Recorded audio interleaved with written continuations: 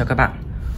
Video này mình sẽ hướng dẫn các bạn cách đo độ cứng trong nước với ờ, bộ test kit Hanna HI3812 Và trước tiên mình sẽ chuẩn bị một ờ, cốc nước máy như thế này.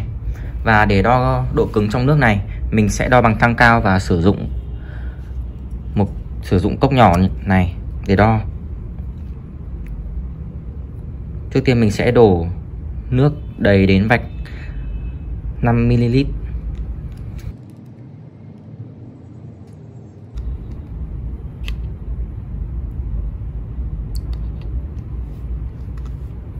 Sau đó mình đóng nắp lại.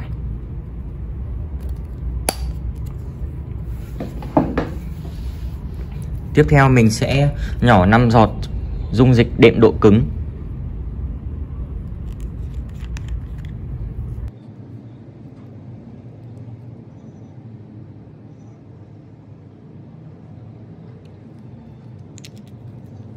Sau đó mình lắc đều.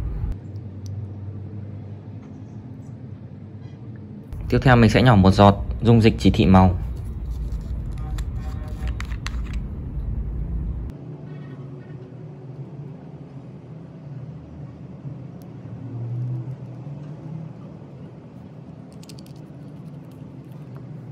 Sau đó mình lắc đều.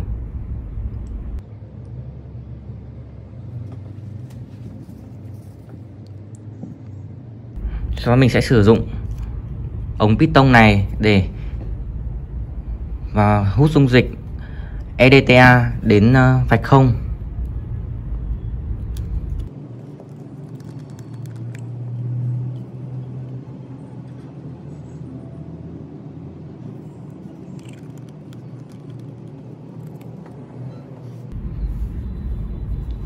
Sau đó mình sẽ nhỏ vào uh, cốc này. Mỗi mỗi lần nhỏ là một giọt và khi nhậm khi mỗi lần nhỏ xong, mình sẽ lắc đều và cứ làm như vậy cho đến khi nước chuyển sang màu xanh.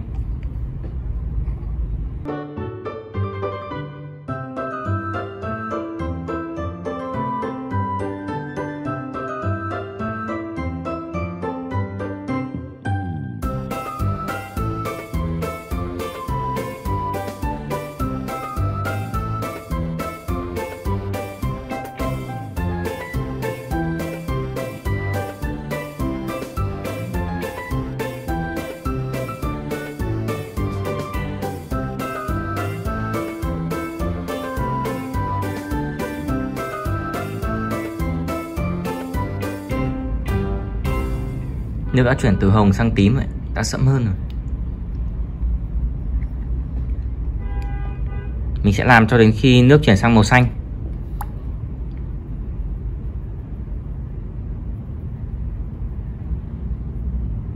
Đây là vẫn đang tím, Màu này vẫn chưa được.